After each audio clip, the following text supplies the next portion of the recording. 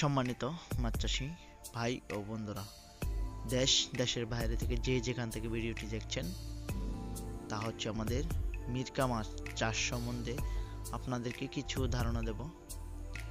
সম্মানিত মাছ ভাইয়েরা, আপনারা জানেন যে মিরকা মাছ চাষ করে যায়, কিন্তু মিরকা মাছগুলো কি মাছের সাথে চাষ করবেন? যে কি কি মাছের সাথে চাষ করলে এই মিরকা মাছের কি কি উপকারিতা আসতে পারে?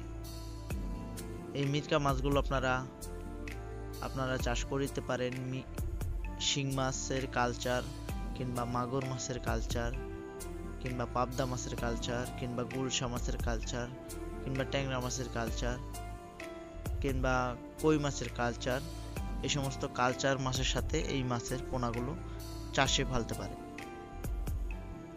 কারণ এই মিরকা মাছগুলো মাটির তলে সার, খাবারগুলো খায়।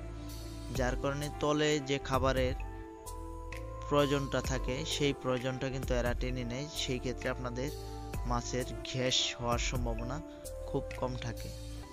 আর যে কোনো মাছ বাসার সম্ভাবনা খুবই কম থাকে। আর এই সমস্ত মিরকা মাছের সংখ্যা প্রতি শতাংশে কয়টা দিবেন?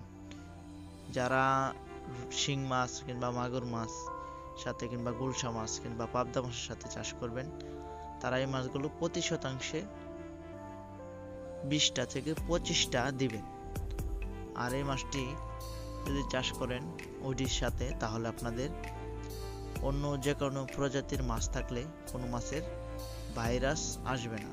পুকুরের তলেসার গ্যাসের যে খাবারটা ওরা কিন্তু খেয়ে নেয়, যেই ক্ষেত্রে আপনাদের মাছের কোনো রোগ বালাই খুব কম আসে। যে সকল মাছ চাষি ভাইয়েরা এই মাছগুলো চাষ করবেন, তারা অবশ্যই আমাদের কাছ থেকে পোনাগুলো সংগ্রহ করতে পারেন। আর আমাদের ভিডিওটি ভালো লাগলে চ্যানেলটি সাবস্ক্রাইব করবেন, ভিডিওটি লাইক করবেন, শেয়ার করবেন।